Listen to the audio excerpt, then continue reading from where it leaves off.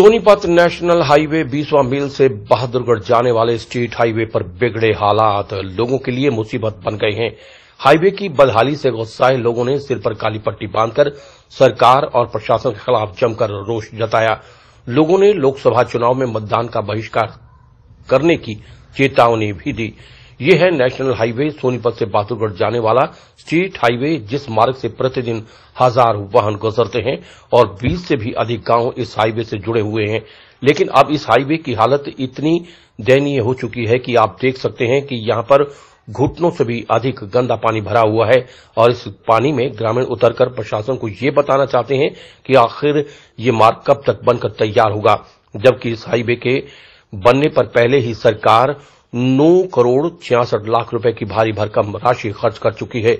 इसके बावजूद यहाँ के हालात में कोई सुधार नहीं हुआ है। यहाँ स्टेट हाईवे पर दो से तीन फुट तक पानी पिछले कई महीने से भरा हुआ है और यहाँ पर लोग हाथों में बैनर, पोस्टर लेकर वोट नहीं डालने की बात भी कर रहे हैं और चुनाव का बहिष्कार करने का मन बना चुके हैं। ग्रामीणों का कहना है कि अगर रोड नहीं तो वोट नहीं। स्टेट हाईवे की बदहाल हालत को सुधारने को लेकर पहले भी ग्रामीण सीएम विंडो से लेकर प्रशासन तक गुहार लगा चुके हैं, लेकिन नौ करोड़ रुपए की राशि आखिर गई कहाँ? इसका किसी के पास कोई जवाब नहीं है। सोनीपत से श्याम वशिष्ठ की रिपोर्ट। ये जी ये बहादुरगढ़ स्टेट हाईवे है। दो साल से सभी उच्च अधिकारियों को कई बार हमने लिखित शिकायत दी है। सीए विंडो पे भी और नितिन गडकरी का पोर्टल है, हरपत पे भी कई कई बार कंप्लेन लगा चुके हैं। यहाँ कोई सुनवाई नहीं हो रही। अब यहाँ के आठ नौ गाँव ने पंचायत ने मिलकर फैसला लिया है कि हम लोकसभा चुनाव का बहिष्कार करेंगे। रोड नहीं तो वोट नहीं। रोड की बहुत भारी समस्या है जी यहाँ पे।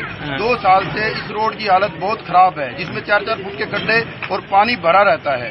तो अब हमने जनता ने ये डिसाइड किया है कि हम लोकसभा इलेक्शन का बहिष्कार करेंगे। और हम किसी को वोट नहीं देंगे, क्योंकि वोट देने का जो कोई फ़ायदा ही नहीं होता, प्रशासन हमारी सुनता ही नहीं है। प्रशासन पड़ा सो रहा है, दो साल से। यहाँ पे बच्चा स्कूल के लिए मजदूर ड्यूटी के लिए निकलता है तो रोटी समेत पानी में गिर जाता है। बुज़ुर्ग अपने घर से बाहर नहीं निकल रहे हैं। तो किस लिए हम जो ये बढ़ चढ़ के वोट में भाग ले? हमने वोट का बहिष्कार, अब की बार लोकसभा इलेक्शन का बहिष्कार कर दिया है, हम वोट नहीं दे और दो साल से इस रोड की खस्ता हालत हो रही है।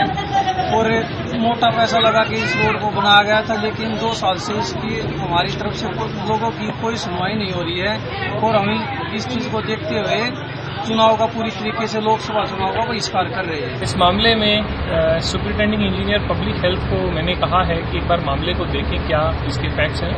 तो जो भी इसके फैक्ट सामने आएँगे, उस पर कार्रवाई की जाएगी।